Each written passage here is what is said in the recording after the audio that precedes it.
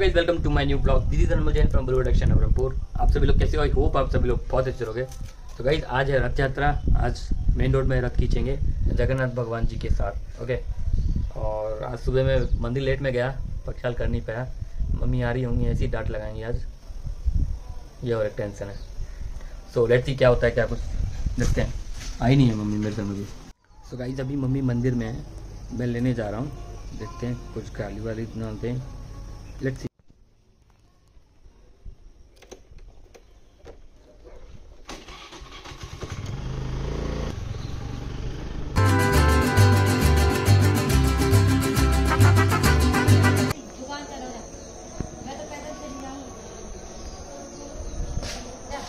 तुम्हें लेने आया हूँ। मैं ना जा रही स्टेशन में जा क्यों? गुस्सा?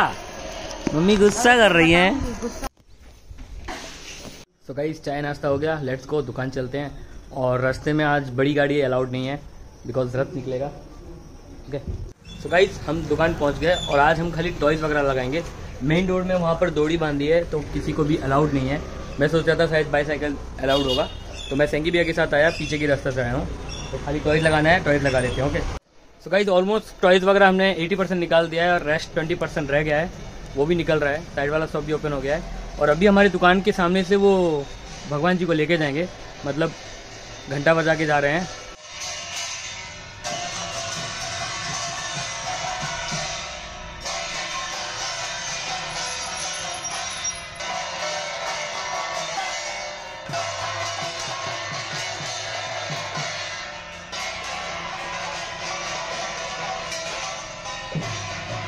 గొత్తపడుతూ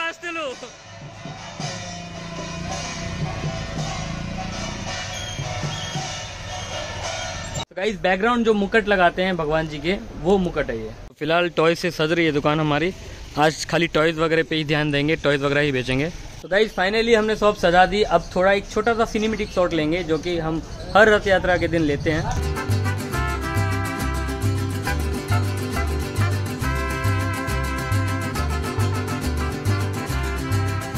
तो गाइज़ क्योंकि अभी रथ यात्रा है, इसीलिए हमने टॉयज लगाया है बाहर। अंदर भी बहुत सारे टॉयज है, देख सकते हो आप।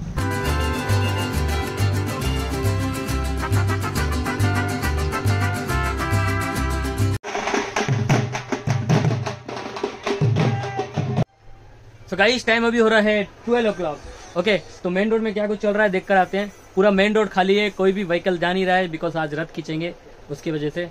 और मंदिर में भी क्या चल रहा है, मंदिर के पास क्या चल रहा है चलो लेट्स सी देख कर आते हैं। अगेन हमने डेकोरेट चेंज कर दिया। सुबह कुछ अलग तरीके से सजाया था अभी कुछ अलग तरीके से सजाया ओके रास्ता बंद कर दिया है यहाँ पे। गाइज़ मेन रोड का हाल कुछ ये हो रखा है पूरा एरिया खाली है यहाँ पर। अराउंड कोई भी व्हीकल्स नहीं है बिकॉज़ यहाँ पर रंगोली डाला जा रहा है। बिकॉज़ यहाँ सामने से रथ जाएगा। दीदी रंगोली मस्त बना रहे हो। सही भैया? आज आपको ब्लॉग में डालूँगा भैया का सब ये रहा, गायत्री क्लो स्टोर रथ इतना छोटा दिख रहा है, दूर से पास जाकर देखते हैं कितना बड़ा रथ है। अभी फ़िलहाल पूजा चल रही है।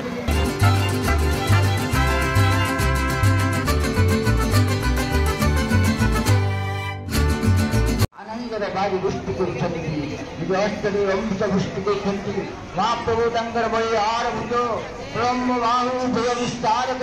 समस्त प्रभु भक्तवान तो फ़िलहाल अभी हम आए समोसा लेने के लिए, दुकान पे समोसा खाएँगे आज।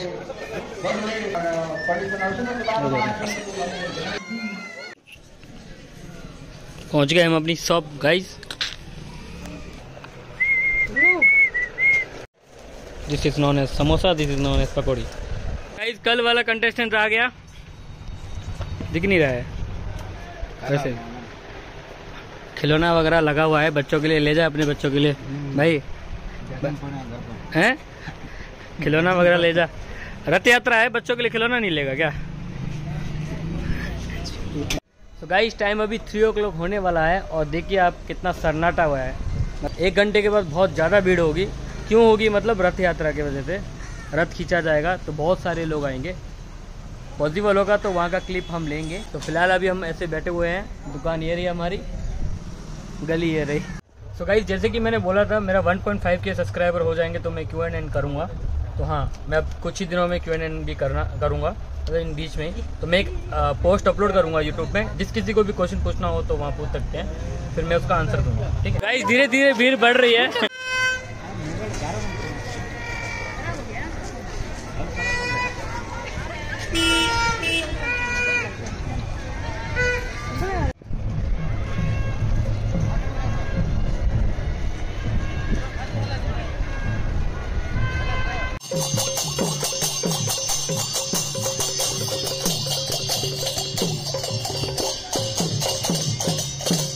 गाइस इस डोरी से खींचेंगे रथ को। क्या?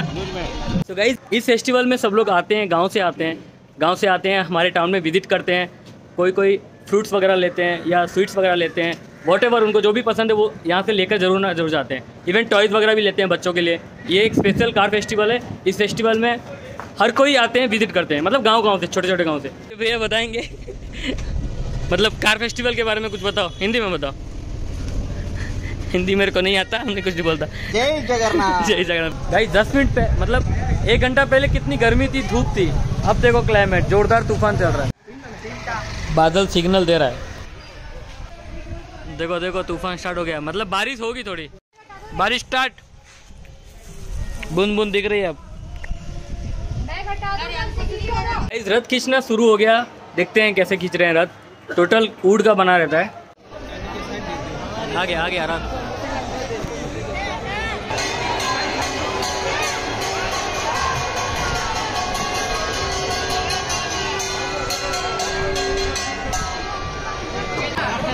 ये हमारी दुकान और दुकान से ये दिख रही है रथ। गली के बाहर। जो कि खींच रहे हैं और आगे जा रही है। ओके। गया गया गया। गया गाइस चला गया।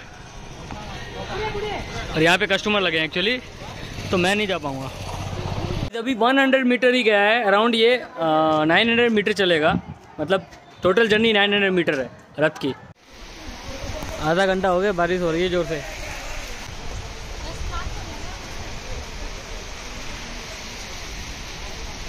सो गाइज़ इस बार रथ यात्रा में बारिश कुछ ज़्यादा ही देर तक रुक रही है। मतलब पहले पहले जब रथ यात्रा था, उतनी बारिश नहीं हुई। तो फ़िलहाल घर आया हुआ हूँ मैं, कुछ चाय वगैरह लेने के लिए। तो गाइज़ टाइम अभी हो रहा है सेवन थर्टी और अभी हम दुकान का सामान सब रख रहे हैं। तो गाइज़ जो एक्सपेक्टेशन सेल का किया था हमने, उसका थर्टी परसेंट भी नहीं हुआ। थर्टी तो छोड़ ट्वेंटी परसेंट भी नहीं हुआ। मतलब सेल पूरा डाउन है बिकॉज़ लोग ज़्यादा नहीं आए हैं रथ यात्रा में इस बार। पिछले बार बहुत लोग आए थे तो उस टाइम अच्छा सेल था। इस बार बहुत ज़्यादा ही डाउन है। मतलब सेल जितना सोचे थे, उतना नहीं हुआ।